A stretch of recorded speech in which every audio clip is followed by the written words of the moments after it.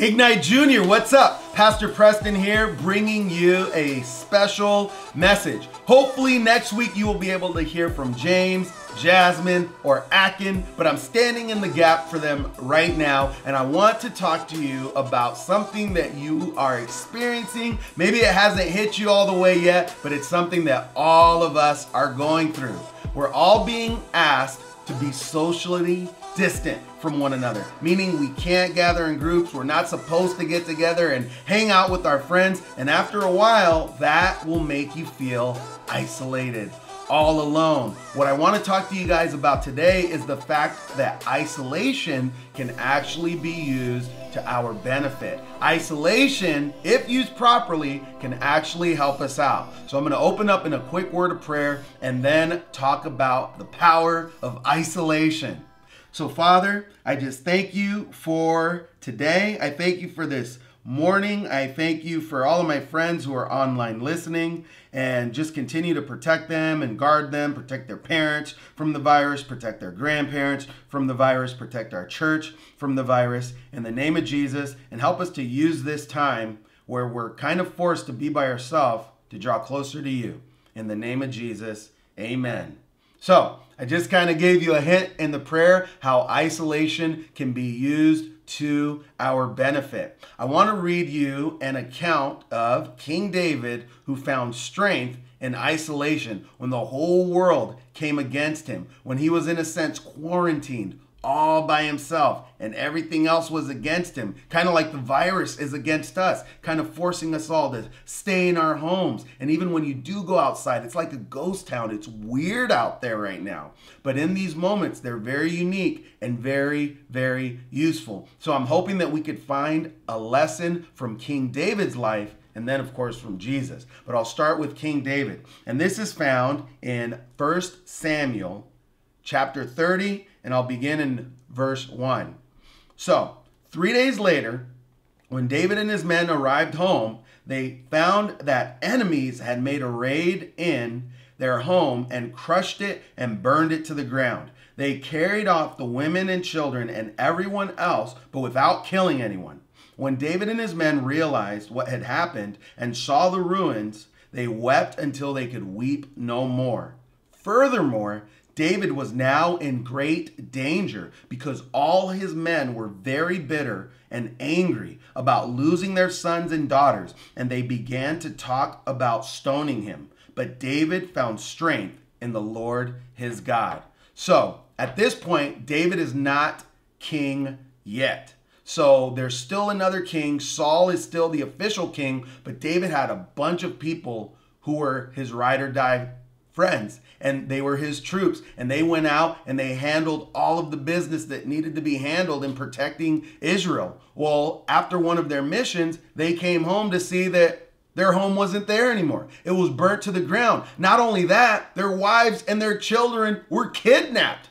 So these people who were David's best friends and David himself, because they were so bummed out, David's best friends turned into his enemies like that. And just like that, David found himself isolated. His people who went into battle with him, his best friends who went to war for him, who would lay down their lives for him, all of a sudden were talking about killing him. Talk about isolation. But look at what it says in the last part of what I read you. So he was isolated. They were talking about killing him, throwing rocks at him. What a terrible way to die. It says David found strength in the Lord. So that is how David utilized his isolation, his being all by himself, to help himself out because he found strength in the Lord. So now we're going to talk about how Jesus was isolated and how he also found strength. So I'm going to read you another verse from Luke. This is chapter 22, verse 39. Then, accompanied by the disciples, Jesus left the upstairs room and went, as usual, to the Mount of Olives. This was after they ate the Last Supper, which I'm sure some of you guys have heard about. It's a very famous thing that happened. Jesus walked away from his disciples about a stone's throw away, and he knelt down and prayed. Father, if you are willing, please take this cup of suffering away from me. Yet I want your will to be done, not mine. Then an angel from heaven appeared and strengthened him. He prayed more fervently, and he was in such agony of spirit that his sweat fell to the ground like great drops of blood. So, this is the night before Jesus was going to be crucified, was going to die for our sins, and talk about feeling all alone. Talk about feeling isolated. Up to this point, it was Jesus and his disciples and his friends. They were all a part of the same mission. They were working together. Jesus was healing people. His disciples were right there with him. But when it came down to it, for him to perform the thing that he was born to perform, die for our sins, that was a one man job. He was all by himself. He was isolated. So it says that he left his friends, he left his disciples, and he went and he fell on his face before God and he prayed. And in that isolation, where he prayed to God, it says that an angel of the Lord strengthened him. He found strength in isolation. He found strength all by himself because an angel of the Lord, meaning God, when it says angel of the Lord, that means God, strengthened him. And this is what is a promise for all of us. All of us in this time of social distancing, we can find strength in isolation. Because here's one of the greatest promises that the Bible tells us Deuteronomy. This is an Old Testament book in the Bible. This is what God says to us Be strong and courageous. Do not be afraid. Do not panic, for the Lord your God will personally go ahead of you. He will neither fail you and he will never abandon you. So that is the great promise that God gives to all of us who say that Jesus is the Son of God, that Jesus died for our sins, that Jesus came back to life. For those of us who believe that about Jesus, God says to you, I will never leave you. So you don't have to freak out. You don't have to be overwhelmed by fear and anxiety. You don't have to feel super lonely to the point of being overwhelmed by it because I am with you. So, you guys, this is a very unique opportunity for you guys to really, really get close to God because all of the distractions in your life are being cut down to nothing. You're not allowed to really hang out with your friends. You're not going to school. And I'm sure for the first week, you guys probably zoned out, just watched Netflix 24 7, played video games 24 7. But come on, you know that gets old after a while. After a while, you're like, oh man, I don't even want to play anymore Call of Duty. I can't take another game of Fortnite. So after a while, things are going to slow down to the point where you're just like, what is going on? I'm all by myself. I can't hang out with my friends. This is terrible.